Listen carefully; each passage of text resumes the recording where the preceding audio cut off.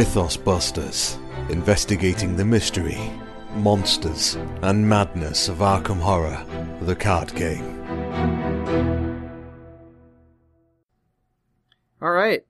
So, now that we've kind of moved on some uh, some general rules foibles, Nick, what are just some general play tips that uh, new investigators might want to be cognizant of? Sure. Um, well, Arkham, the cards in Arkham uh, follow a very similar templating and format to a lot of other card games. There's what's called flavor text or lore um, on Arkham cards, just like you'd find on a Magic card. I don't Um, think it's been called lore text since the Star Wars CCG. But you know, that's still a very important part of the CCG history, so I'm I still going to call disagree. it lore. um, normally, flavor text or lore text, depending on what game you're coming from, um, is there to just provide a, a window into the world in which this card um, is depicting an action or an event or a character from. Um, and it's not really that pertinent to the game. Um, however, with Arkham, my biggest tip around flavor text is to enjoy the flavor text. Uh, it is the story, and it is ultimately the reason why you're playing these scenarios and why you're playing through this campaign.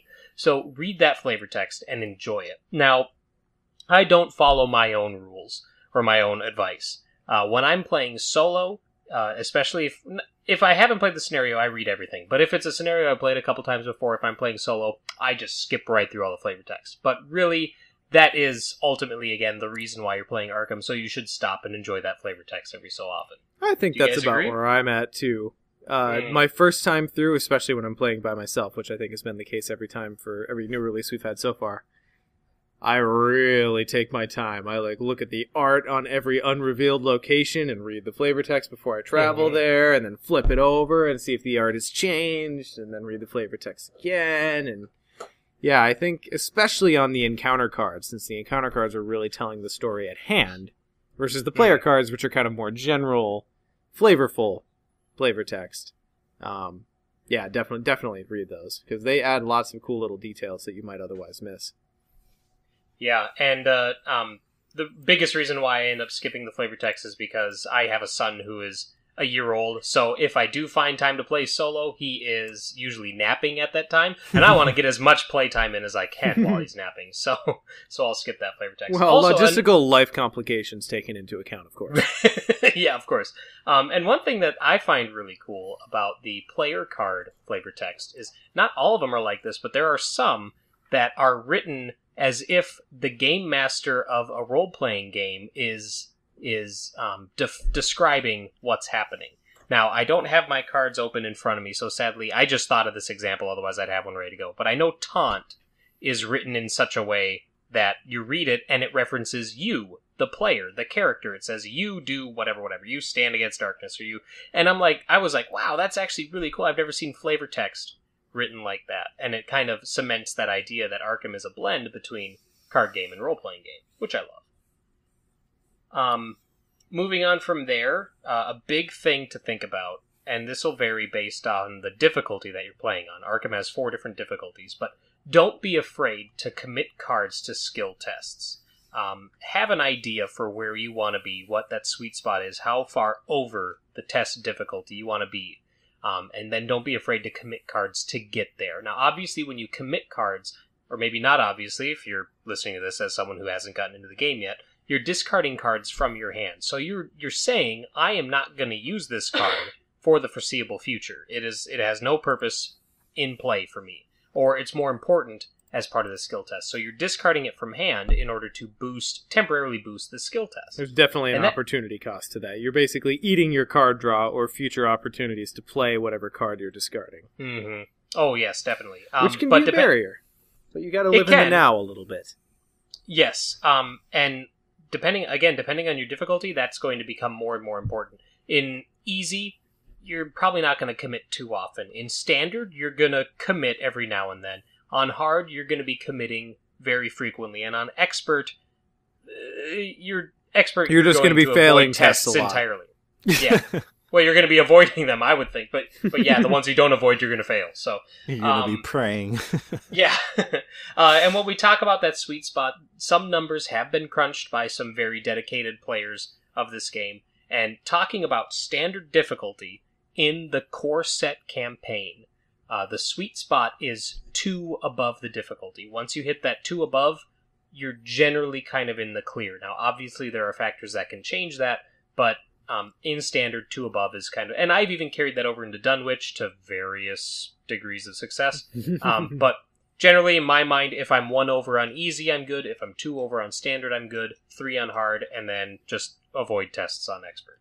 Yeah, I think there are Uh, two kind of approaches you can take to that. You can really kind of get you, if you get a certain number of plays in, you just kind of generally acquire a gut feel Mhm. for where you feel comfortable. hmm Yeah, Or if you're way more into the number crunchy side, like there are definitely resources, and we'll we'll mention some of them later in the episode here, where we've got you know bar charts and spreadsheets and like probability calculations as to how well you'll do in any specific scenario, being a certain number over the test in a given difficulty. Hmm. So if you want to drill down to that level, what it really amounts to is knowing what your chaos bag could potentially spit out for you. Yeah, I, I mean, you can do kind of a ballpark, I guess, like lay out the chaos tokens you're playing with before a scenario, put them in order, and just get a sense of like how many are above this number and how many are below. You know, like how many of these tokens will fail me if I'm two over three over, and you can just get a quick sense of like what the magic number is, uh, barring your access to those kind of things.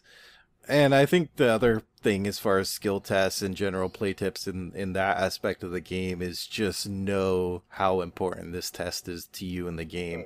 And that's something you'll get a better sense of as you play. If it's not immediately obvious, like if I fail this, I'll die, then that's obvious. but uh, Yes. for other tests, it might be a little bit more nuance. And it's a matter making those judgment calls is kind of what separates like how effective you'll be. So if you know that, um, you know, I should be able to pass this test, it's kind of moderately important to me. Um, then you'll probably be aiming for that magic two over in standard. If this is like a, a a pretty important test that could have a big effect on the game, then you're going to be aiming for that three or four. Obviously, depending on what you have available. But yeah, I think the point we were talking about is don't be afraid to cross that threshold from like two over to three over, for example, if it's really going to make a difference. Like, yeah, you might lose out on some cards. You might draw that horrible token we don't speak of, but at the end of the day, you can maybe draw cards to replace what you committed and all those kind of things, but you don't want to fail a test that you really needed to succeed because you were too stingy to commit the cards you needed. Well, Okay, so let's cover quickly. Getting the last clue off of a victory point location just for getting the victory point, not that important to test. the killing blow on a boss enemy, pretty important test. kind of important, yeah. so everything else kind of falls in between. Yeah, um, I think that you'll find as you play Arkham, and something that I found too with each game is that it's really like what it comes down to is efficiency, and it's kind of a race against the clock because every turn you're adding a doom to that agenda, and if that advances all the way, that's that's the most obvious form of failure. Uh, and so a lot of the things you're going to be doing, you're going to want to take care of in inside of one, maybe two tests. Um, and so that's kind of the barometer there is that like okay it may even if it may not seem like an important test it's more important to resolve that test and be done with it than to have to spend multiple actions on your turn trying to take care of what you should have been able to do once if you had just committed a, another card from hand um, so that's something to consider as well is how many actions are you sinking into resolving whatever you're trying to resolve Seems good. Nick, I'm really curious on this next one. I wasn't quite sure what this meant. Oh, you're not sure what your favorite enemies are exhausted means? Um, I, I, all right. My little story about this, and it's it it's it's from Arkham Nights. So Sean, you were there, but when we were Mhm. reading the text on evading enemies and what an exhausted enemy can do Mhm. versus what a ready Oh, okay. enemy can do, um, it is like night and day. Like a ready enemy can do everything. He can attack you. He can move. He can engage with people. He can, you know, make coffee in the morning. He can do whatever. He can take your car. He can do whatever he wants to do. An ex- They, let's be fair to all the she monsters out there. Sure, they. And then an exhausted enemy uh, can't do any of that because it's way too tired and it has to just sit still and ignore everything around it for the rest of the turn. Evading is the easiest way and the most obvious way to exhaust enemies and use it. like we thought we were cheat like it felt like cheating the fact that we would be evading enemies and they couldn't do anything. Like it they just couldn't do anything. And these are enemies that when they were ready would affect everybody. Um, but then once they're exhausted, there's nothing like they're just they're just a doormat. Just walk over them. Um, you can attack them without any recompense. You can you can play the game as if they weren't there for that turn. So exhaust enemies, exhaust enemies, exhaust enemies. Unless you can just straight up kill them like a guardian. So there's that. Yeah, so it turns off it turns off engagement, it turns off Mhm. hunter, it Mhm. turns off uh, retaliate, it turns uh, those are the big three. I'm trying to remember what else. But yeah, no, totally agree, totally agree. And I think that might not be immediately apparent to new players. Right. Like what the value of the agility skill really is. Like there are a few cards who reference it and like, yeah, if you're in a situation where you need to get away from the enemy, it might be apparent like, oh, I need to evade this guy. Mhm. But the whole setup, especially in that first scenario where you've got a big boss to take care of, of the dodge tank, where someone engages the enemy for the purpose of disabling it via an evasion, do not disvalue that. Right. It is it sets you up for so many good things. Now, the downside is that obviously evading and exhausting an enemy is just a temporary solution because at the end of the turn they will ready and then they'll just be waiting to be either evaded or actually dealt with. Um, so you have to keep that in mind. But evading can be a very strong tool or a very strong result um, in order to take care of, again, that time element, that your race against the clock. Sometimes it's quicker to just evade the enemy, or sometimes it's better to just evade the enemy than it is to outright kill them. It's really this game's mechanical call for a dog pile, is what it is. Yeah, yeah, definitely. Um, another tip that I sometimes it feels dirty, but that's okay. at first it does, you'll get used to it though. You'll get used to it. Um, and my next uh, point that I had on here is on on the show notes. I have player slots right to win big. Now that's that's more than just gambling. Um, and we haven't really talked about assets and the item slots. Uh, but every investigator has a set number of slots, and some cards that you play will fill up those slots. An example would be your investigator has two hands. At least every investigator we have so far has two hands. So that means you have two hand slots. You can hold a flashlight, for instance, and a 45 automatic. Or you can get rid of both of those and hold your shotgun, which takes two hands. Um, oh, the shot. Ah, the shotgun.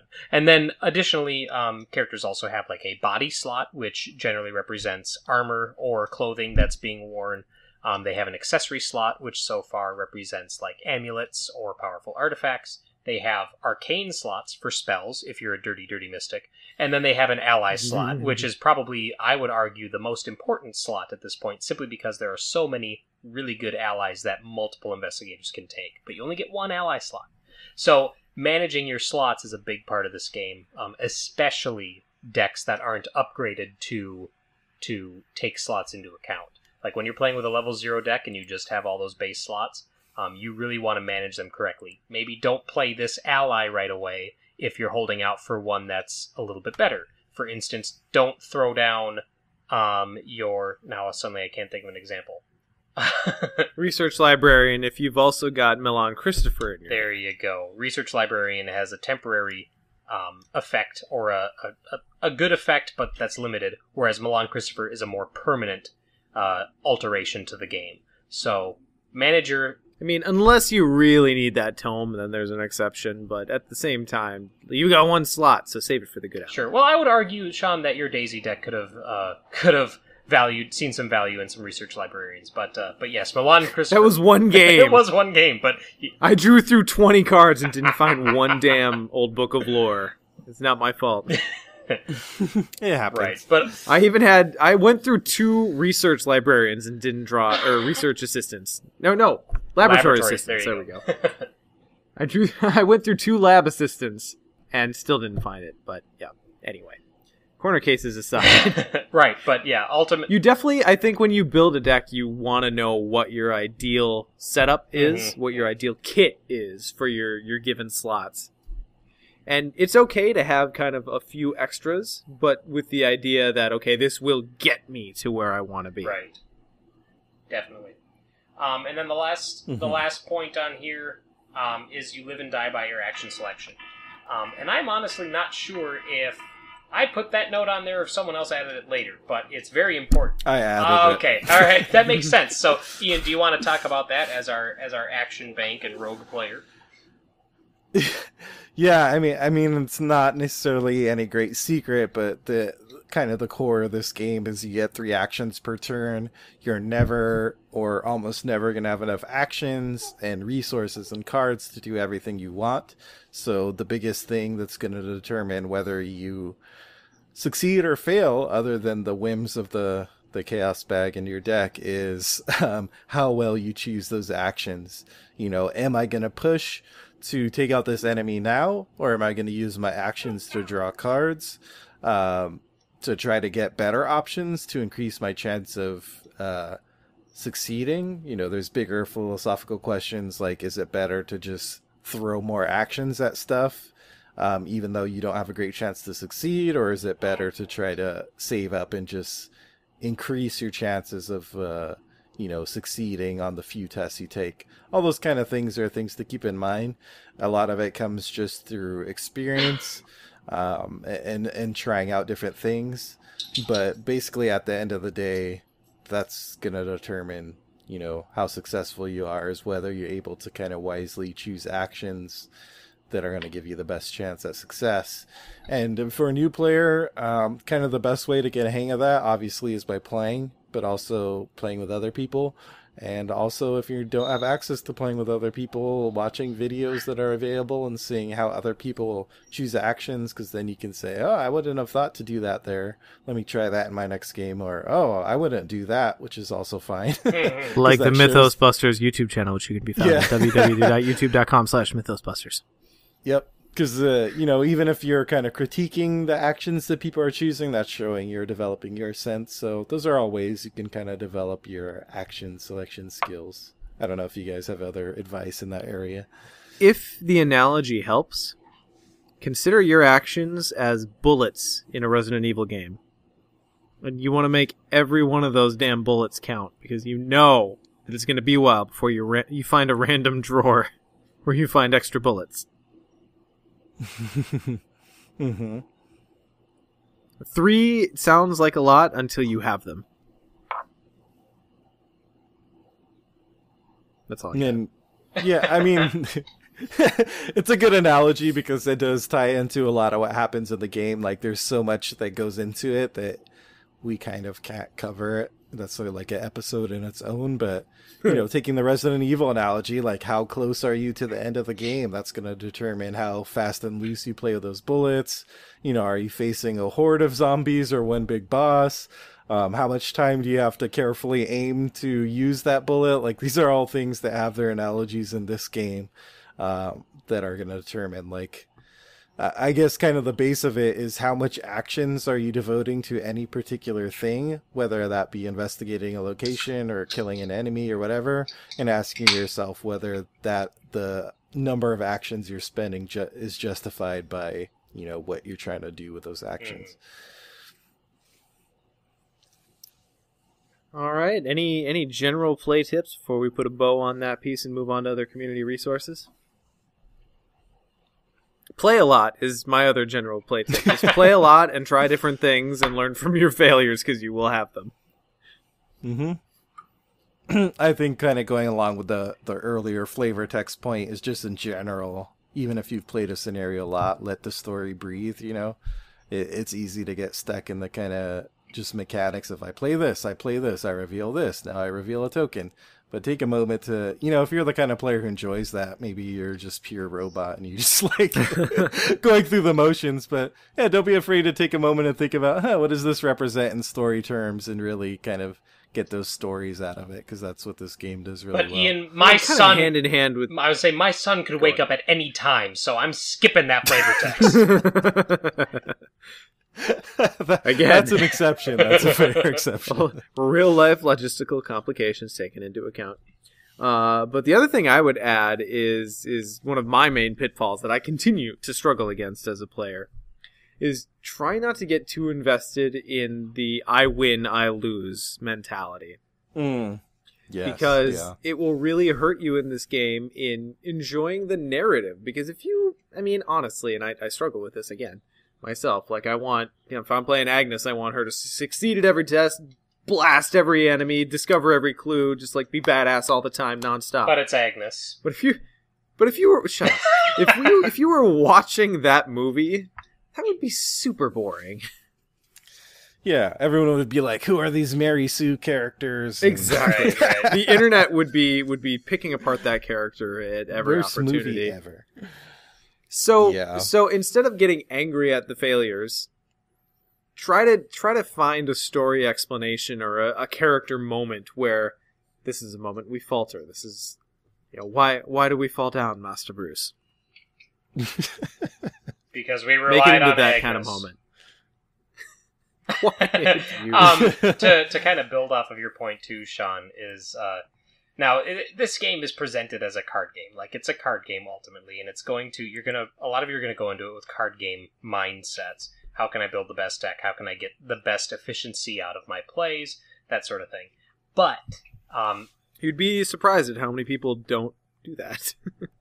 Well, uh, sure, I probably would be actually surprised at how many people don't do that. But assuming that you do, random person uh, that's listening to this podcast who is very much unlike everyone else, um, Steve. Steve, yeah, we're looking at you, Steve. Um, my advice would be to treat it like a role playing game. Even though it's presented as a card game format, treat it like a role playing game and make decisions, especially the narrative ones, like at the beginning or an end of a scenario, or even in the middle, where it says, make a choice. And there's no real game mechanics obviously tied to that choice. Think about what your who your character is and what your character would knew, would do. Now, again, I don't take my own advice. I don't do that, despite having such a love of role playing games. But um, but I think it's it's a very interesting way to approach it, and it's going to broaden what you would expect from this as a card game.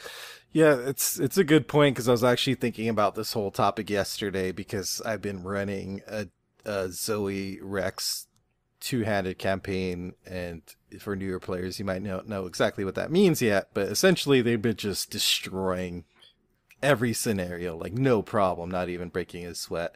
Um, and I started a Skids and Daisy two-handed campaign, two of the core investigators, and it's just like some Night of the most bu- bu- bumbling moments you've ever seen, espe- especially the first scenario I played. But then the second scenario was so amazing because I had this role playing moment where I thought in my head, like, I'm not going to spoil anything because this is for new players, but I had a choice whether to go kind of an easier way to win the scenario or the high risk way. And I was thinking in these characters' heads, like, they just failed this first scenario so bad. Like, Daisy is going to step up at this moment and be like, no, you know what? We are going to go all out and take the risky moment. And it made for one of the most fun games I've had because it wasn't assured because they had these weaknesses and the story was built up. Like, I, I totally second what you guys are saying. Like, Lord of the Rings, I feel like I tend to be more of a mechanical player in a lot of ways. And let's just play this and, you know, not taking a lot of time to think about the story. But I think in this game, the role playing aspect really comes out. So don't get discouraged if you lose that first scenario or lose a scenario along the way or it feels like losing, uh, because you do have the opportunity of getting a really amazing story out of it. You know, it's it's it's kind of like a lot of times players who are new to RPGs or say new writers, they create these really like perfect characters who are just like Rambo and go out and can do everything.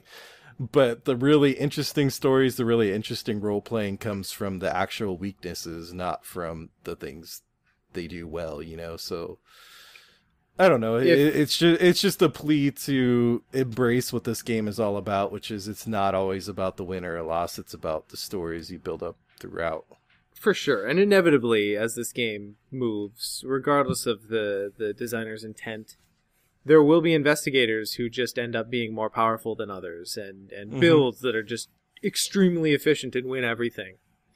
But your best battle stories come from your tensest moments. So I, I, I mean, I think some of the, you know, we have in the seeker class, like we've mentioned before, we've got Daisy versus Rex currently in the card pool. Rex is a monster, and Daisy is fun. Yeah, that's all I got. But uh, but some of the most fun I've had playing in this game has been a solo Daisy build where kind of the the deck is a little bit stacked against her in a lot of ways, and and pulling her irons or her ass or whatever it happens to be out of the fire has resulted in some of the most fun moments I've had. So I guess my ultimately my my struggle is not to shy away from the tense moments because you know ultimately you want to win, but at the same time those tense moments are what really make the fun stories and the great experiences come out. So don't shy away from them. Yeah. Yep. Mhm. Yep. All right, so uh, now let's move on to some silly stuff that we all enjoy. Now that we've talked about the game, let's talk about those those select few of us who have that special special weakness uh, of being. Well, I, I refer to myself as a, as a component whore, but you know other terms might be a game pimper, or uh, uh, I don't know. Bling be a- Master. there you go, Bling Master. so, a couple common things you might do to to upgrade both the accessories of this game and kind of the, the, the physical trappings of the card game itself. So obviously, we could probably do an entire episode on sleeves. I, I won't lie to you. We Yeah. pretty much already did. I think we kind of did. So Yeah. I I can't even remember what episode that was, but It's like let's three just or four. Yeah. So if if you're interested, go back to our early episodes and check those out. Um, so for my my part, let's just each go around and kind of go with what our preferred approach is because there are so many out there. We can't even hope to cover them in a single segment of an episode like this. Um, I've tried to find a, a, a decent balance between quality and feel versus price. So what I end up going with is I sleeve everything, both player cards and encounter cards, in the Ultra Pro clear sleeves. Um, they're a really nice tight fit. They give just a nice firmness and and fit to the card. There's not a whole lot of flippy flop going on at the top of the cards. Some some of those sleeves really feel like you're drowning the card in them, and I'm not a big fan of that. Um, so so you can get like a hundred of these sleeves for like six seven bucks depending on how many you buy at a time. So they're a really nice deal. Now, what people will tell you is that the the Ultra Pro hologram that comes along with them is a sticking point. and you know I understand why for some it might be. I don't see it.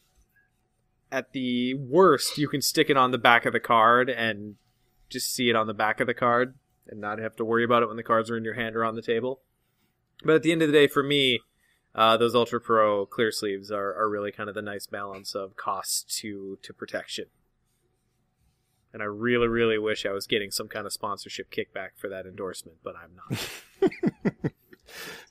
It was a very erotic endorsement.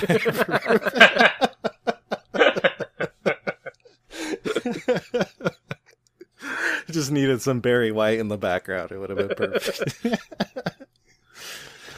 um, for my part, I use Dragon Shield sleeves, which are on the expensive end. These are kind of the investment sleeves where you're going to pay a premium for each pack. I use the Dragon Shield, Shield clears because I like the Arkham Horror card game backs too much They to are so up. pretty. They are, and it also helps because then it makes it easy that you can just buy one type. Um, there are some other options out there, but I won't go into too much detail. But there's you know matte, matte clear, and all kinds of colors. Uh, but dragon shields are basically kind of the the approach you go if you just want to pay uh, a solid investment into the sleeves and hopefully not have to worry about them for a long, long time. Yeah, I um a lot has changed since the last time since our episode where we talked. about I know. I was about to say when we talked about card blinging, you were like the resident Jawa, where you were just scavenging from other games. yeah, I I used to use um, loot crate boxes. I used to use card deck boxes from other games, Magic Fat Packs that didn't have Magic cards in them anymore. Um, and then I would use colored sleeves that I had lying around from everything, and and across all different kinds of colored sleeves: Dragon Shields, Ultra Pros, um, bunch of them. Uh, however, I have since changed my stance primarily because a I change my I alter my decks and change which decks are current too often that taking them all out of blue sleeves and putting them into red sleeves just took too long and it was too much of a time time issue. And also because the background uh, or the the card backs of each card are so beautiful like we talked about especially the player cards. Um, I love that card back that I really wanted to have clears so I knew I liked Dragon Shield. They're a good product. So I have upgraded to using Dragon Shield clears for my cards um, Damn, the full 180. they're yeah, they're ni- well. Dragon shields are nice, and I, I if I was going to commit to something, I wanted to I wanted to commit to something that I I would feel confident in. Dragon shields aren't like so slippery that your deck just kind of falls apart when it's just sitting there, but they um yeah, they're good. I feel like there's a there's a big penis joke to be made somewhere in this sleeve this sleeve discussion, but we're gonna go ahead and leave it there. Maybe a little So- penis joke too. well, oh, it's all right, Nick. It yeah, happens to a man, lot don't leave anyone out. right, yeah, we want to embrace all of our never mind. I'm going to stop there. Yeah. So now, as far as general card storage goes, like we could talk for that, uh, you know, to that at, at length as well. But like, there are YouTube videos, there are lots of reviews on general card storage. I don't think any of that pertains specifically to Arkham. Um, so I, I personally use the the Hobby Lobby Artist Supply Case, uh, which is something you can pick up at any Hobby Lobby or the website generally runs about I think 45 25 to 40 bucks depending on whether you can get it on on sale. And then Go 7 is the the supplier where I bought actually an insert that comes unassembled, you assemble it, insert it into the frame of this supply case and then it holds many many cards. I've got everything that's been released for this game, two cores, all the expansions and the standalones, and I still haven't touched half of the storage that's available in this case. So, recommended for me if you're willing to throw in a little bit, but I think all said, I spent probably 60, 70 bucks plus shipping on on the thing. So it, does also depend. On the flip side, for my other games, I also use just kind of the, the really low end shoeboxy um, boxes, I suppose. Whatever those are called, you can find them at just about any game store or online. They're like three bucks a piece, and they certainly are serviceable. They're not pretty, but they do the job. Yeah, I use the same uh, case storage solution as Sean does, just a different model. You can look at the various models on their website. Um, as far as the Go 7 inserts, there's broken token inserts. Uh, there's the cheap kind of white box approach, that shoebox approach that Sean mentioned. Some people prefer binders for their player cards. That's also an option. Um, there's just a whole array depending on kind of how easily you want to be able to take cards in and out, um, how much you want to spend on it, how much you care about how it looks, the aesthetics of it, all those kind of things. I um again for the longest time I was using just general deck boxes and whatever. Um, but in order to keep this combo going, I too use the Hobby Lobby artist supply case with the Go Seven. insert. God, guys, we are missing out on those kickbacks. What the hell? I know, we should have diversified. yeah, and for me, it's ultimately just about having all my cards in one place, and then when I open up that case, I know what's what, and I can be like, all right, this is these are my Guardian cards, this is my deck, this is the whatever encounter. Um, whereas before, it would be I want to play Arkham. Grab my four different boxes of different sizes and colors, open them all up, and go, okay, what did I have in here that again? are all kind of shoved higgledy piggledy into the core set box that doesn't fully close Yeah. because it's not actually set for the width of a regular card. Right, yeah. So um, for me, it was all about having it all in one place and, and being able to easily access all of those cards. So Also, I didn't think I was going to be able to get the words higgledy piggledy into this podcast, but we got it, guys. We got it. Where there's a Okay, will. so moving away from general card accessories, which you could talk about for any card game ever, let's talk about Arkham specific ones. So I think one of the biggest pieces that, that people will look to upgrade or, or supplement on their own, mostly because it's not included in the core box, is the Chaos Bag. So it's pretty easy to go out and find just your standard dice bag. They sell them everywhere online. They're pretty cheap. Um, you know, one thing though that I would recommend is looking at some dice bags that have actually some structure built into them, that actually have kind of the four corners and, a, and an ass on them, a bottom. So that the chaos bag can actually kind of sit almost like a cup on the table until you need it and then there's almost there's something different about actually having a bottom to the bag versus having just kind of an indistinguishable fold in the bag that helps that helps pull tokens out i think. Um, and so to that end one of our one of our friends of the show kenji who's in our discord actually has an etsy shop. You can find him at geekcraft i definitely recommend checking that out. He does really good work uh, with with he's got several different icons that you can put on a dice bag uh, with with custom embroidery that looks just freaking gorgeous. Um, we've talked about it on prior episodes. If you want to check those out, go ahead. But highly recommended. I have I got my purple uh, with starry field on the inside with an elder sign on the outside di- or uh, chaos bag and i have never ever looked back that thing is just so pretty and i'm always glad to put it on the table so ian i know you you in particular have something that's a little outside of the bag if you will yeah, so I, I I do have a Kenji bag as well, the black and green for rogues, uh, which is something I use quite often.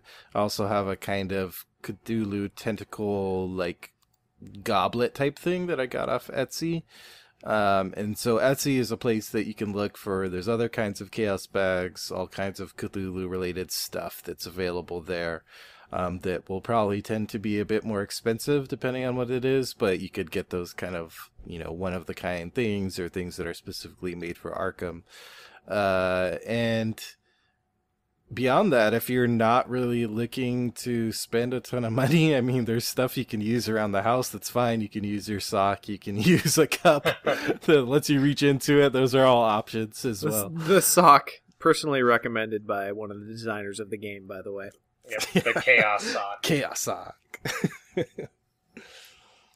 nick how about you what are you rocking i know we used mine last time we played so i'm not even sure what you're what you've got going on I actually use the Elder Sign dice bag that we got at Arkham Nights. Um, I have Okay. I have like Hmm. five or six dice bags, and three of them are Cthulhu related, so I could really just swap in and out with those. However, um, I think it would be really cool to get like one of those little like um, gumball machine type things and load all your tokens in there, and then when you need to draw a token, just twist the thing and pull out your token, and it's always going to be bad. So it's like you're playing with a little like a bingo ball dispenser yeah, yeah, that's actually a good idea too. You need to have a one with a pretty big opening to get those tokens out. But no, I just I just use dice bags. I'm no cus- custom engraved bingo balls yep we've solved it guys Okay, so beyond the bag itself, which is really can take the form of any vessel, essentially. All you need to be able to do is a blind draw. You could literally just spread your tokens out on the table, shuffle them around with your hands, and look away and grab one, and it would probably still be okay. But beyond the bag, madness, I know, madness, madness, madness that way lies. Um, one of the other big things that I would highly, highly recommend doing is coin cases for the stock tokens in the box. So the stock chaos tokens in the box, and honestly, like, I know we've covered this before, but I feel like for upgrades in general, this game is hard because the tokens in this this game are kind of among the best of FFG's work. Yeah, agreed. So to that end, one of the biggest rec- recommendations I'd have is actually just to enhance what's already there as opposed to replace it, which is some of you know what of our other recommendations are going to be. Is uh, coin collectors have existed for a very long time, and they have ingenuity in, invented ingenuited Ingenuity. there's a verb there somewhere. um, they have invented simple coin cases, and you can buy these in uh, for the chaos tokens that are included in the Arkham Horror bag. You want to get either 25 or 26 millimeter coin cases. You can get them online. You can get them probably at a local coin collection shop if you happen to have one. If you get the 25 millimeter, they're gonna be snug, and you're probably never gonna get them off or get them out, which is probably okay if that's fine for you. But at the same time, I like the 26 because it leaves just a tiny bit of play in the coin case for the chaos tokens. Um, I actually went around the edge of my chaos tokens with a sharpie, which is a really, really superficial touch, but I think it adds a little bit more of a visual to them as opposed to kind of just the general cardboard corrugation feel. But you put these, uh, the the chaos tokens in these 25 or 26 millimeter coin cases, and oh my god, it changes the tactile nature of the chaos bag so much. It does. It really does. I think that's one of the like single biggest purchases I would recommend for this game, and it's fairly cheap too. Uh, just because one of the the only things that bothered me about the chaos bag was just that worry of like are they really getting mixed up enough? And are they getting stuck in the corners? And is this truly randomized? And with the coin cases it kind of solves that because they're so like substantial that you can feel them move around and really get a, a chance to mix them up. And and i don't know just like you said it changes the tactile feel so much that i highly recommend it it does, it does. And the other thing is like the you know the the regular tokens you're moving around on the board. You might store them you know in a clump. So after a very long period of time, they might start to fray. But if you're anything like me, and I think like most people that I've seen play the game, those chaos tokens see some tough friggin' love. Yeah. So those things live in the bag. They get shuffled every time you draw one out. Mine started to start they started to whiten and get little fray marks three weeks after I got the game. So the the coin cases are a really great way to fight that. And in addition to making them more substantial on your fingers and and being able to ruffle the good tokens up from the bottom of the bag, um, yeah, if I was to recommend any single game upgrade, that would definitely be the one. Well, and not only that, but I mean, every time you draw that tentacle, you're throwing it across the room and running the chair over it, and you know, doing anything you can to to teach it a lesson and keep it in the bag. So, you know, that one especially it's is going to get worn more than the rest. But I'm also afraid of angering it. Maybe that's my problem. Shouting insults at the tentacle token you just wake up and lift up your blanket and the tentacle token is, is there next to you. Oh, no. All right, so that covers the chaos bag and tokens. Now, obviously, one of the other biggest, the other biggest things that you're going to look to upgrade this game uh, are going to be your standard tokens and possibly your playmats. So, as far as the base tokens in the game go, uh, one of the one of the most general recommendations I'd I'd put out there is that these Arkham Files games have existed for ten plus years. Uh, FFG's Arkham Horror was released in 06? I want to say 05, somewhere around there. So people have been making tokens for these games that are kind of cross compatible. Like clues have always been a big thing. Health and sanity have always been a big thing. There's usually some kind of eldritch or tentacle or bad token doom in this case that, that could be used. So I would honestly I would look across the pantheon of token upgrades that have been produced for these Arkham Files games to see if there's anything that tickles you. Because you don't necessarily have to stick to things that were made with this card game specifically in mind. Right. That said, if you are, one of the biggest ones and one of the most prominent ones that I would I would prop is Team Covenant, uh, who are an online and, and local retailer from Tulsa, Oklahoma, uh, who we recently had the opportunity to, to chat a little bit with. They've put out very specific Mythos tokens for the Arkham Horror card game. They're acrylic, they're double sided, uh, they're laser etched, and very, very pretty. Uh, you know, they're a little bit more on the premium side as far as price goes, but honestly, the more I play with them, the more I feel like it's justified. Um, Ian, I don't know if you you would second that notion. I know you're the only other one currently who has them. yeah, I would. Um, definitely after playing with them a bit, they you know they are premium like you said they are a bit more on the higher end in terms of price but they're very solid in terms of functionality they work well i'm happy with them so yeah that's that's an option if you're like okay i've been playing this game i'm all in um, i'm going to be working these tokens to death so maybe i might want to look into an option that's more a little bit more solid than the cardboard yeah, so definitely check them out. If you Google Team Covenant, you'll find them very, very easily. Um, if acrylic isn't your thing, and you would prefer something more along the organic line, uh, there are some pretty cool wooden tokens that are being produced and sold from Aethernet or something. But anyway, they were brought to our attention by a friend of the show, Tyler, who goes by Dav Flamrock in the uh, in our Discord and, and uh, Twitch, I believe. And you can find those at theshadowarchive.net. He's got a mirror for their site where you can find those. So you've got like 3D crate tokens that are actually like a full half inch tall, or maybe like three eighths an inch. But anyway, I'm trying to think of my uh, my measurements, and I was coming up short. But then they've got the clues and the doom, and as far as wood tokens go, these look really nice. I actually got to see some of these in person today. Um, so I'd definitely check those out as well. Guys, anything to add on the the actual token upgrade front? Uh, if you own, and Sean touched on this, but if you own Arkham Horror Eldritch Horror, you have all the health and sanity tokens you will ever need. it's true. Repurpose thing, repurposing rather, not repurposement. We're just inventing words tonight. It turns out. I'm uh, keeping a record. Repurposing is a thing. I saw that.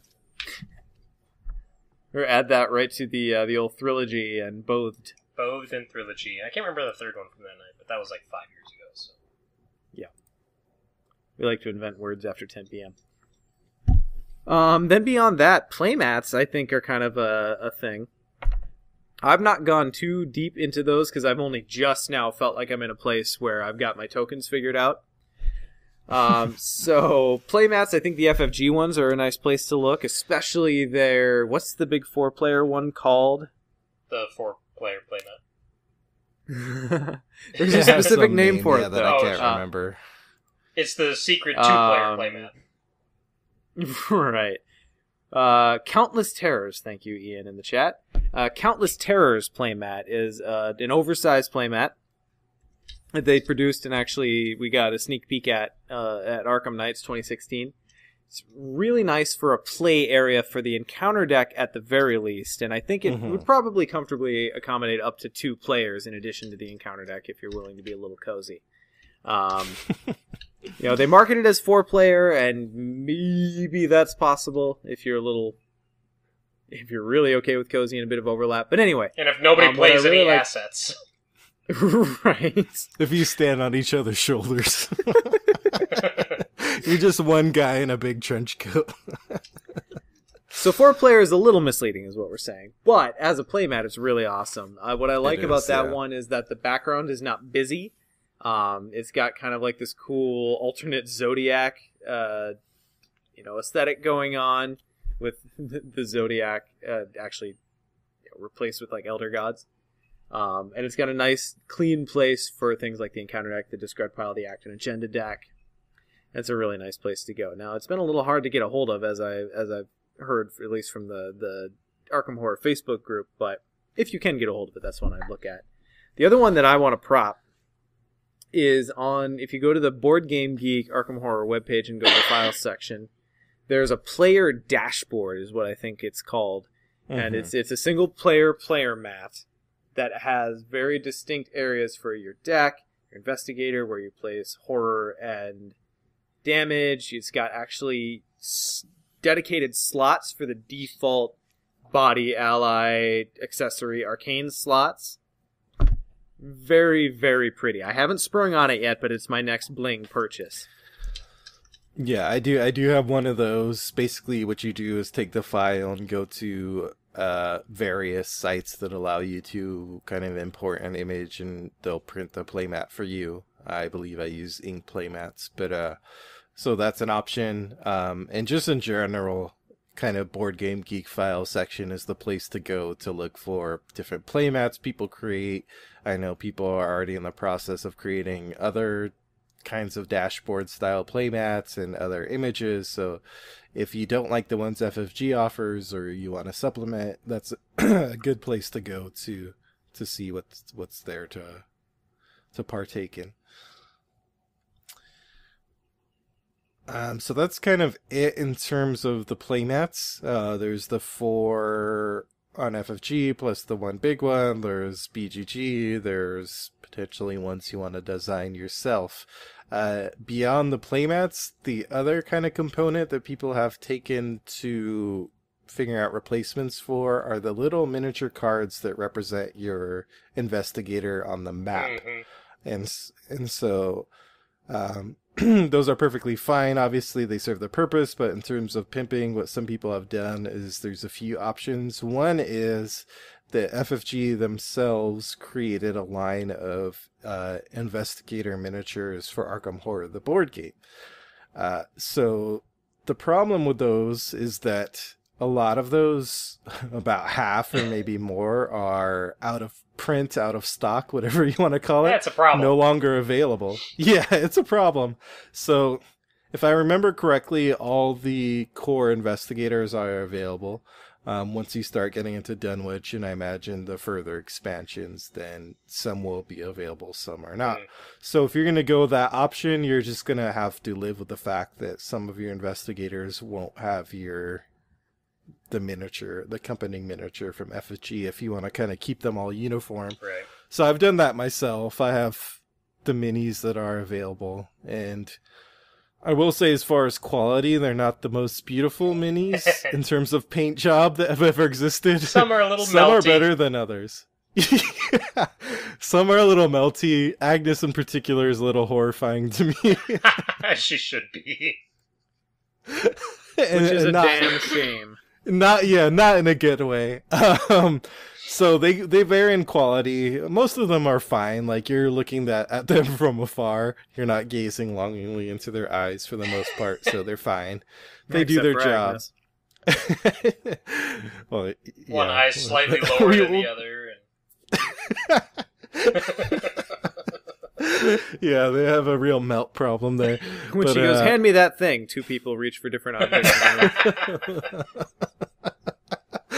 so if you don't if you're not happy with those because either the availability or the paint job uh i know some people have just kind of searched like other miniatures so obviously they're not like licensed roland or rex or whoever miniatures but they get miniatures that look similar to the character Again, the problem with that is just issue of availability. You might be able to get some for some investigators, but some investigators just might not have a good, you know, uh, appropriate miniature available elsewhere. so if you're really stingy for consistency, maybe just stick with the mini card. Yep. Uh, I guess the other option, other than minis and the cards that I've seen people do, is create like little circular pictures of them and then put them in the coin cases, and then you have like a little smaller token that you can move around the map. Hmm. Yeah, one thing that I thought about doing was taking the plastic standees that are used in Arkham Horror the board game, which I own, Mm. and sticking Further repurposement. and stick yeah, and sticking my mini cards in those, and then that way they're at least standing up and they're easier to grab and move around. And I tried that, and the cards obviously are too thin; they don't stay up in the standee. So I was like, "Dang it, I can't do that." And then I was talking to someone on Discord about this recently, and they were like, "Well, can't you just use the cardboard cardboard pictures that come in Arkham Horror?" And I was like, "Oh my gosh, why didn't I think about that?" So currently, my Arkham Horror board game is packed up, so I can't check to see how many investigators cross over. But if there's enough, I think I might end up using those cardboard uh, tokens and the plastic standees rather than the mini cards. Well, yeah, I mean, you get to the same place, right? Because you can either use the standees with the mini cards and just know you have them already, or, you know, if you happen to have the actual standees that actually kind of look a little bit better for size and scale in the standees that come with Arkham Horror or Eldritch Horror, I'll point out, Yeah, or probably and even Mansions Elder of Side. Madness has actual minis. Mhm. Um, Oh, there you again, go. it's not going to cover every investigator, but you could, if you have that game, you could potentially mine that as well. Yeah, I was looking at the Mansions of Madness expansions while we were at FFG uh, this last weekend, and uh, I was I was like, oh, this one just has you know investigator minis, and I flip it over, and it's like, well, there's one investigator that is you know currently in the pool, and then the other four are investigators that aren't in Arkham Horror the card game. So I'm like, well, that wouldn't be a very smart purchase. So. Except for the new Mansions of Madness is pretty cool too. That's true. If I wanted to buy the actual game itself, I could always do that. Best best upgrade to the card game, another game. That's what FFG wants you to think.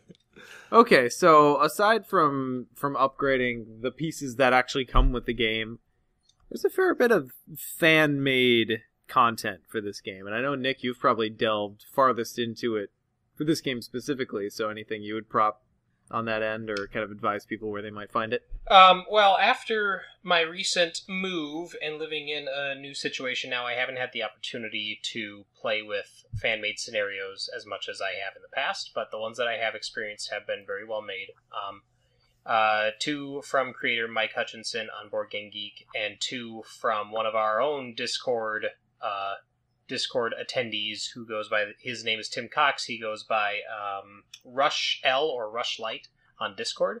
Uh, he actually has a three part campaign that I believe is fully released now, but you can find all these files on Board Game Geek, and it's those scenarios plus tons of others. There's one that has entirely um, like original Arkham quality artwork in it, and it's made by uh, I want to say a French creator and it's all in French. Um, but one of our Discord guys, uh, who we actually played with at Arkham Nights, Daniel, uh, has been working at translating it and putting the translations in a PDF for me, so that I can actually Hmm. eventually, hopefully, get to play this one. Um, it looks really cool. But yeah, there's a lot available at BG or BoardGameGeek.com under the variants and files section. Sweet. So, speaking of other resources where you might go to find goodies for Arkham Horror, obviously, uh, you found us through one one avenue or another. If you've been referred to us via forum, or if you're just a regular listener who's like, God, get on to episode 16 where you're talking about something I don't already know about. um, I will say, obviously, we we produce fairly regular content for the game. So if you've enjoyed what you've heard tonight, definitely check us out at wordpress.com slash or mythosbusters.wordpress.com. I'll get our URLs right one of these days. no, you Um, and won't. it's probably true. I'm gonna screw up one in every every go around. But anyway, uh, we we do regular content for the game. We release about every two weeks, give or take. We we record every two weeks. When we release is a little bit more variable. Um, normally we recover news, community content. We have some kind of discussion topic. Obviously tonight is very focused on this new player segment to kind of bring people into the game, hopefully into Mythos Busters as well. If you've enjoyed what we've done, what we've done here. Normally we're a little bit more on the silly side. Tonight's been actually pretty dry for us as far as content goes because we're a little focused on this very informational piece. Um, but as far as other community content goes where we we direct you. So first, I'd say one of the biggest places you might want to go is to find a deck builder. Deck builders really really smooth out the the process of building a deck in this game. You know, I love love love playing with my physical cards. Nothing will ever top it. But at the same time, when I'm building a deck, sometimes it's easier to do it in a very abstract format where I don't have to dig every single card out that I'm thinking of or looking at. And to that end, Arkham DB is currently the top one for me. So it's arkhamdb.com. Uh, you'll find it there. You can basically sign up for a free account, uh, modify which sets you currently own, which will modify what cards will show up in the actual deck builder itself. So you can actually customize the deck builder based on what sets you have and keep it all within your current card pool. Uh, and then save, you know, it's not an unlimited number, but it takes you quite a bit to get past the limit of decks that you can save in that in that deck builder.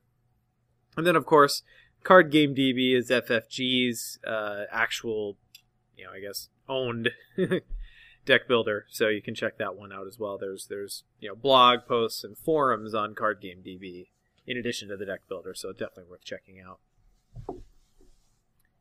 So in addition to that, you might want to find a visual outlet, I suppose. And to that end, I would definitely recommend you check out the Mythos Busters Twitch slash YouTube channels. Uh, we do playthroughs, which are becoming a little less common just because of how hard it is to wrangle all these yahoos together on one night. But in addition to that, uh, our our card reviews, which we call or we do under the umbrella of the Miskatonic AV Club, um, or on our Twitch and YouTube channels. So our our podcast proper kind of stays away from the very very specific card by card review format, but some of us really enjoy doing that, so we do that via our YouTube channel, and it's it's very nice to have the visual aspect to that piece as well. Um, as well, if you've if you've heard of us, chances are you've heard of the Arkham Chronicle, which is probably the foremost YouTube producer for dedicated YouTube producer for Arkham Horror. Um, they're they're really nice, quick, short form videos. Most of them are under five minutes.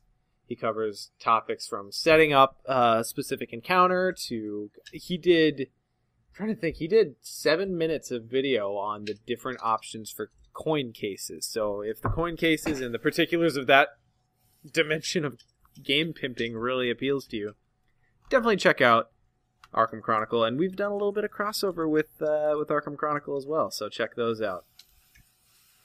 Uh, in addition to that, we've got some com- community members who have come together to do the Miskatonic files, and I believe at this point they're focused mostly on game playthroughs. Again, I think they're doing those through. Are they doing Twitch first? I've only seen the first one, and that was on YouTube. I am not 100% sure. I think they may just be recording it and then putting it out through YouTube. Okay. But definitely check those guys out. We played with, I think, most of those guys at Arkham Nights as well, so they're all solid. Uh, and then as well, uh, community member Man from Leng is has done a series called Whisper in Darkness, which you can find on YouTube, where he does card reviews and different playthroughs, mostly in solo. Uh, so, Ian, you want to walk us through some of the the written word on Arkham Horror?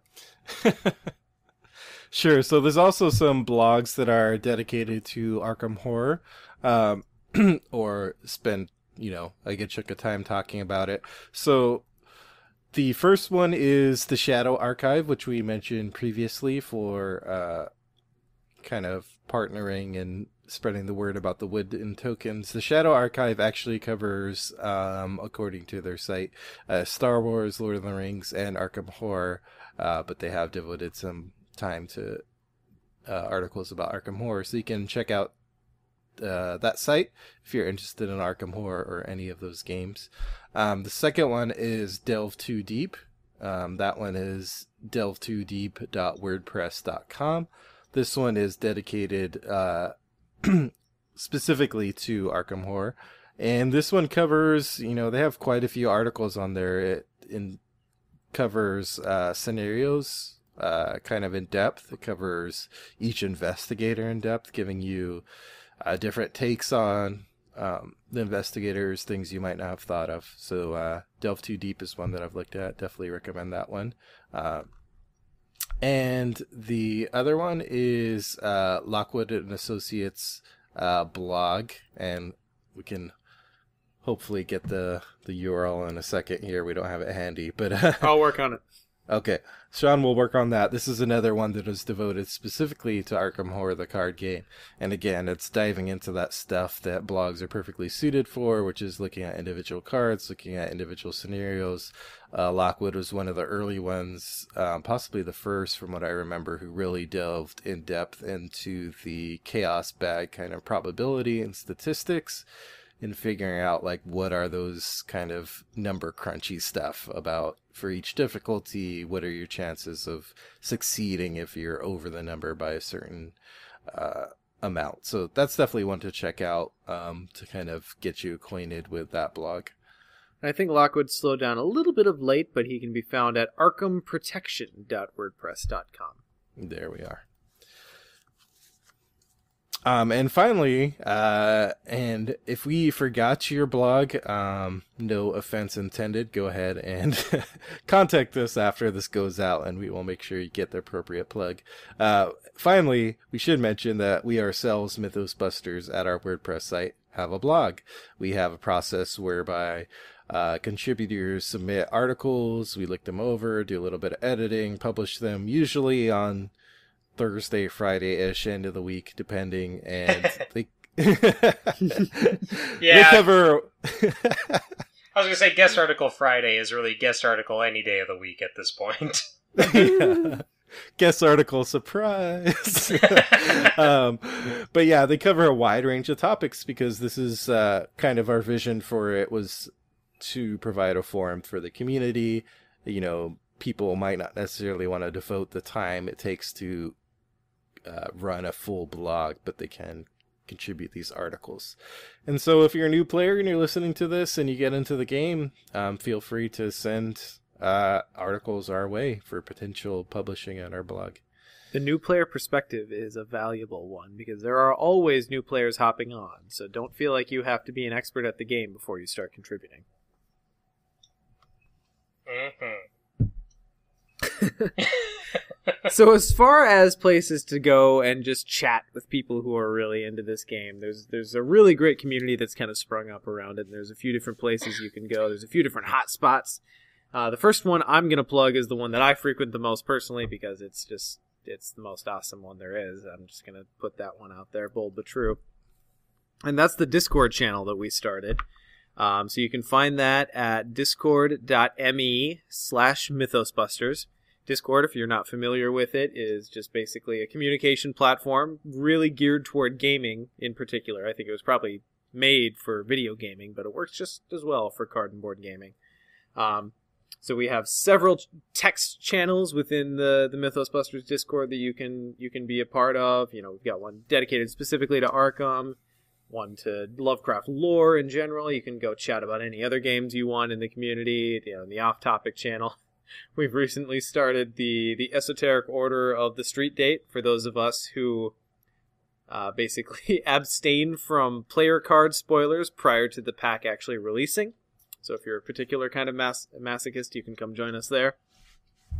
Uh, and then as well, if you have a mind to meet up with people online and and play, you know, either you know just via voice channel or via Octagon or or Lackey or whatever other tabletop simulator or tabletop simulator itself uh, you'd like to use, you can do that in our voice channels, which are are free to use as well to anyone who's in our Discord. So highly recommend that. Again, Mm, oh wait it's discord.me slash mythosbusters and that's kind of the evergreen invite that you can go out and use um, so in addition to that I'd, I'd prop a couple things here. So we've got the arkham horror lcg subreddit which i think is, is very well moderated and very active as far as lcg subreddits go. You've got the ffg forums which again you can find just on the fantasy flight games website. The bgg forums which you can find on BoardGameGeek.com and find the Arkham Horror game page and forums. And then as well, uh, the other one that I'm, I'm mainly aware of is the, the Arkham Horror, the card game Facebook group. It has a fair few members at this point. There's generally people, you know, kind of sharing new experiences and maybe ask, asking some newbie questions. Generally sharing quite a few different game pimping opportunities, so lots of pictures there on the Facebook if you're into that not a bad place to go. So, as far as other podcasts go, um, like I mentioned, we do the Miskatonic AV Club where we dive into very specific card reviews for each individual card that's released. Right now, we're up to halfway through the Dunwich Legacy uh, expansion, and we plan to, to get current at some point in the near future, hopefully. Maybe. Um, and uh, in addition to that being out on our Twitch and YouTube, we've actually exported the audio from those sessions into its actual its own podcast. So we have a separate RSS under the Miskatonic AV Club. Uh, if you found us at probably our, our WordPress site, you can also find the Miskatonic AV Club under our WordPress site. It's one of the banners there. You should find it there if you want to dive into our card reviews. Definitely would recommend that. And then as well, the only other podcast that I'm aware of that focuses specifically on the the Arkham card, the Arkham LCG, is a little podcast called Drawn to the Flame. Now, up to this point, and if you've listened to prior episodes, you've probably heard me apparently uh, very very convincingly feigning a, a fake adversarian feud with these guys, but they ruined it last episode by saying nice things about us on their podcast. So I'll just go ahead and say that they do a really good job. They're a little bit shorter than us. We're peaking, we're cresting on like two and a half hours for this episode. Um, they generally keep their stuff to about under an hour. Uh, they focus on very specific topics as opposed to our general scattershot approach. Um, so definitely check those out. Uh, those guys out. Uh, Peter and Frank do a really good job with it. So drawn to the flame. And then the last piece that I think we'd, we've already mentioned at, the, at this point, but just want to reiterate that the Board Game Geek uh, Arkham Horror Portal has lots of different things you can experience from it. You can go to the forums to just chat or ask rules questions. You can go to files to, to find, you know, there's like custom sleeve images and playmat images and like card divider images and just all these different things you can find to bling out the game. You go to the variant section, you'll find different maybe house rules that you might want to try out to, to modify the game for your own group uh, in addition to the custom quest or custom quest, custom scenarios that Nick mentioned earlier. And uh, yeah, that's that's about it for for my community resources, guys. Anything else you'd add? No, not that I can think of. Oh, um, also Mythos Busters does have a Facebook group as well. Um, Oh yeah, there's that. yeah, there's that. So uh, if you're on, Told Facebook, you I always miss one. well, I added that as you were going through the list. So, um, so if you're on Facebook, Yeah, but in a perfect world, I would have remembered it myself. true, very true. so check that out. Long story short. Yeah, we post. Uh, we we tend to repost the uh, the FFG news as it comes out, so you can stay up to date there. Occasionally, we'll post some some gameplay, you know, photos or videos. Or we we recently did one where you know, name your your cute nicknames for things that happen in the game, which actually didn't go over as quite as well as I was hoping, but um, hope springs eternal. and also occasionally uh, we we do giveaways on Facebook as well. I think we've done two now. So Yes, if any if any bone in the body is ticklish, let it be the greed bone. Um, we actually we probably have some giveaways that are that are upcoming, so pay attention to those too. I'm glad that tickled you, Nick. this episode is too long. it is okay. So let's close this sucker up. Normally, what we do at the end of every one of our episodes is we do a little segment called te- Tentacle Time, where we talk about other things in our lives that are grabbing our attention aside from Arkham Horror, the card game. So rather than kind of do what what our current ob- other obsessions happen to be in this moment, trying to keep this one a little more evergreen, let's let's recommend other games that people might want to look into if Arkham Horror is of appeal to them. So Ian, if someone is really into Arkham Horror, or the card game, what else might they enjoy? So, in the interest of time, I'm going to prop one really hard and then mention the other two a bit more briefly. um, if you like Arkham Horror LCG, the one that I would suggest to you is the aforementioned Mansions of Madness Second Edition. Um, this is a big cooper- cooperative game um, from FFG. It's scenario based, so each game you're playing a different scenario. If that sounds familiar, um, you play as an investigator. You have a set of actions to choose from each turn. Again, that's familiar. um, and it obviously is delving in the same world, the Arkham Files world. So why should you bother if it sounds so similar to Arkham Horror LCG? So the difference is this isn't a card game. This is a big board game. Comes with tons of tiles. Comes with tons of minis for all the monsters, for all the investigators and kind of the big innovation uh, for second edition is that it is run by an app. So this is a cooperative game you and your friends or your or just yourself you can play it solo uh, are all working together. And the the app is actually running the bad guys. It tells you what's happening next. It tells you um, you know what kind of tests you're going to check all those kind of things. So it does a lot of the work for you. So the reason you would get it it's on the pricier side because it includes all those components is because this is like the closest you can get to an rpg without playing an rpg if you don't have the ability to play that or whatever. This is as close as you can get in the arkham files world. Um, and so i suggest that for that reason the visuals are awesome because of all the components um, and the other big reason I like it and I would suggest it is this game is super, super easy to teach. I mean, it's basically you teach people what actions they can choose. You tell them they can take two actions. You um, tell them how tests work, and that's about it because the app is going to run pretty much everything else and tell you what happens.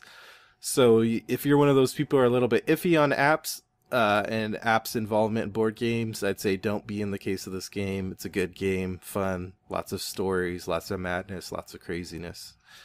Um, so Mansions of Madness second edition for sure. Uh, the other two, which I'll mention more briefly, is a game called Grimslingers. Draw! I recommend. this game is completely different than Arkham Horror LCG, and I suggest it mainly if you're just a solo player or cooperative player looking for more games that can be played that way. cool thing about Grimslingers, it's kind of like a weird Westy game, is that it has both competitive and cooperative modes, so there's a ton of game in there, and it's cheap. Um, and the final one is is a game that's hard to get now because FFG lost its uh, Warhammer license. This is a small card game called Death Angel. This one's super cheap, or at least it used to be. Now you might have to pay a premium, but hopefully you can find it secondhand. but this is set in the kind of Space Hulk like aliens type world, fighting all these kind of insect like aliens, uh, cooperative, and there's just a ton of like strategy to dig into with that one, but it's pretty punishing. So those are my suggestions. Awesome, Nick. It's interesting that you bring up Grimslingers because of the solo or campaign play, um, which obviously relates to Arkham. But I only have experience with the competitive play and the dueling, and I just I must say that I love that because it's a fighting game in card game format. I'm uh, outside of playing Yomi, the fighting game card game. Grimslingers is awesome, but hmm sticking with suggestions related to um, Arkham, or at least that you might be interested in if you like Arkham, I'm going to touch on tabletop RPGs. And much like Ian, I'm going to mention three, but I'm going to dig into one. Um, obviously, there's the Call of Cthulhu RPG, which has gone through, I think, five or six or seven editions by now. Um, pretty easy to learn. Uh, and covers all this mythos stuff that we've been talking about this whole time. So obviously check that one out. Um, another one I want to talk about, which I only purchased for the GM tools on it, but Silent Legions RPG. I got the PDF of it from DriveThruRPG, and it has some really cool tools in there to create your own mythos of um, cosmic entities and terrors from beyond time and space. So that one's really cool as well. Uh, but the one that I really want to dive into is a little game called Monsters and Other Childish Things Yeah, this, boy. this is a tabletop RPG that um, was completely unlike anything else I had played at the time that I got it and played it with my game group, Sean included. Uh, Monsters and Other Childish Things is a game. Basically, take Pokemon and combine it with H.P. Lovecraft, and that, in a nutshell, in a pretty big nutshell, is what Monsters and Other Childish Things is. You play a kid. Um, they recommend between the ages of like seven and no older than like a sophomore in high school. And your kid has a monster. Think like 80s coming of age kids. Like you Yeah, want this to be like Stand By Me or Stranger Things. Yeah, the game that I ran, I ran it in I think 1994 or something, or 98 or something like that, because that to me was the the theme or the feel that I wanted in this game. But you play a kid. Your kid has a monster. This monster is really cool. He's not like any other monsters. Uh, other people can't see him. He has a way to hide from from like adults and people who don't have monsters. But there are other kids who have monsters. And not only that, there are monsters that exist in the world that are harmful. Um, and it's you and your friend's job, because you guys all have monsters, to go out and kick these bad monsters' butts. And there's people that want to catch monsters and study them. There's um, mad science. There's men in black. There's all these different facets of it that you can kind of pick and choose what you want to play. Um, it's a very interesting system, uh, very interesting setting, and it really uh, provides the GM and the players with some cool opportunities to role play in ways that they they may not be used to because you're playing kids and you're playing monsters that are emotionally bonded to these kids. So, yeah. Oh, and then um, What, what's the what's the name of the example monster in? Oh, there's a bunch of one of okay. So in one of our episodes, I talked about this previously.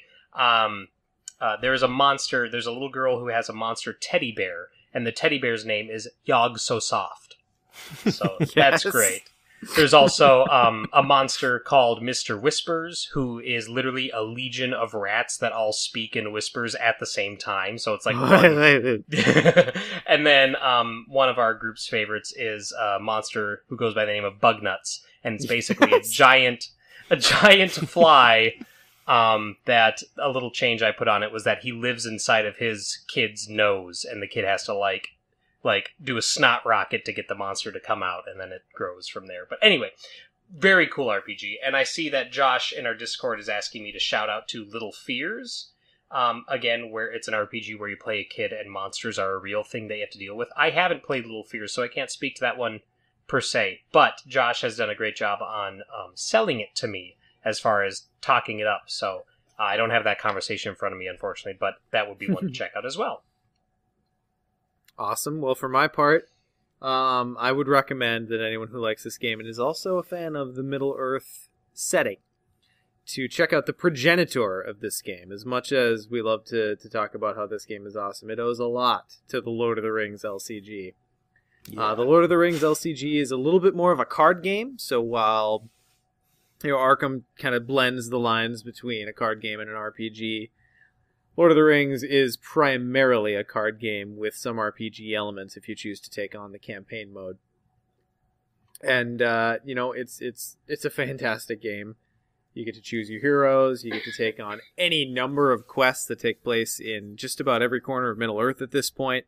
Uh, I think we're missing Dale and my Middle Earth geography runs out at that point. But anyway, it's a fantastic game. So if you really like the idea of a cooperative card game uh, in the you know in the vein of, of Arkham, I would definitely also look at Lord of the Rings LCG.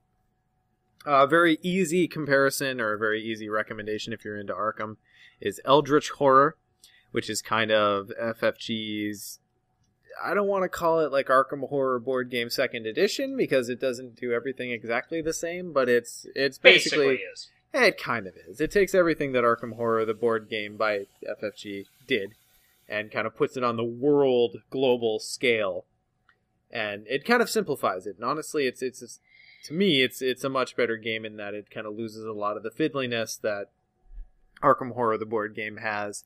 And uh, there's there's lots of expansions you can add to its side maps, and you can go to Antarctica and Egypt and the Dreamlands now. Very fun game. It's probably as far as board games uh, as a group goes, Eldritch Horror is probably my favorite. The only thing that I have against it is how freaking long it can take sometimes. Um, and then in addition to that, as far as we're talking about cooperative card games, another one that I would mention to people is Sentinels of the Multiverse, which recently Nick and I got uh, the chance to play quite a bit. Um, Sentinels of the Multiverse is a really cool kind of proprietary superhero property that's that's done by Greater Than Games. Um, it's it's co-op, and again, it's very similar in that it has a very specific villain deck that kind of runs itself and and pits itself against the players that each take on a specific superhero. The one difference there is that there is no deck building in Sentinels of the Multiverse. You pick a hero and you get that hero's deck to play. Um, it's it's it's a lot a lot more on the simple side. It's a little bit more of like a, a damage management game as opposed to something like Arkham where there's actually a board that you're moving around and gathering clues and kind of all these different aspects going on. So it's a little bit more on the light side, but definitely still fun and worth checking out. So guys, I think we're gonna have to put a bow on this one after two hours and about forty-five minutes. Well, we can't we can't hit three hours. Come on.